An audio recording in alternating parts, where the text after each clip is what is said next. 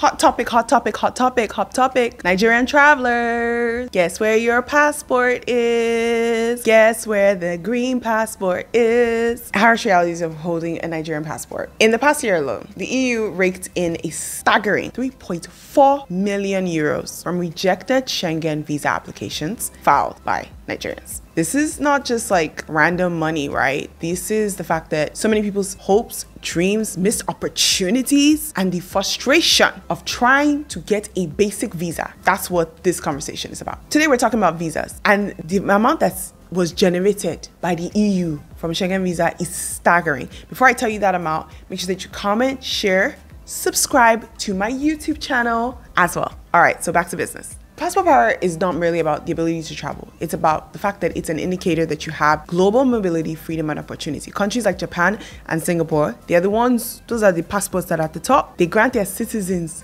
visa-free access to over 190 destinations worldwide. Meanwhile, here, us Nigerians, offering every little thing that encounter complexity and constant rejection.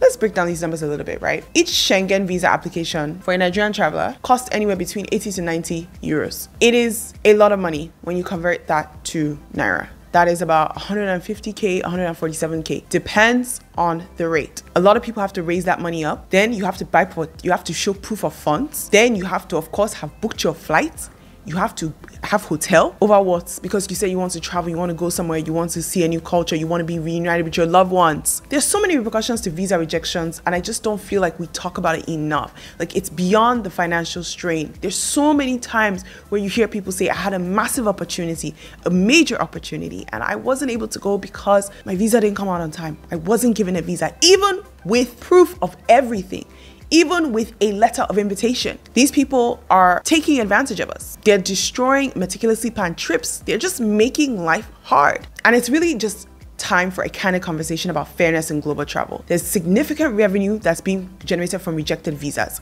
And I say that if these people truly cared about Nigerians and cared about a diplomat diplomatic relations between Nigerian uh, Nigeria and their their respective countries, they would go ahead and only charge a minor administrative fee.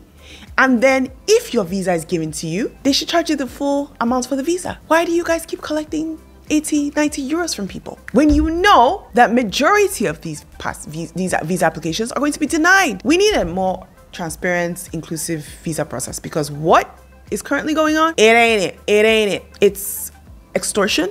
It's feeling like they're taking advantage of us. It's feeling like they know that they're going to deny multiple people their rights to travel. And it's feeling like it is a money making scheme. Because tell me why your rejection rate is 60 to 70%, but yet you're collecting all the visa applications. And this is literally just like statistics for African applications my solution to show that you guys are here in good faith and you're doing this in good faith reduce your visa fees make it more of a administrative fee. And for the people that you give the visa to go ahead and charge them full amount. Because why are you making millions off of a visa process when you know you're denying more than 50% of the people. Make it make sense. Anyways, let me know what you guys think in the comments. Let me know how the visa process needs to be reformed and how the Nigerian government needs to hold. Things like this is all about diplomacy, right? It's tit for tat. You give me, I give you. That's how diplomacy wor diplomacy works. So Nigerian Foreign Ministry, Ministry of Foreign Affairs, there needs to be more show of power and to hold these people accountable. Hold them accountable. Don't let them treat your citizens like pure water. Not saying there's anything wrong with pure water. Well, don't let them treat your citizens as less than, because that's what they're currently doing. Comment down below and let me know your thoughts, how you feel about this.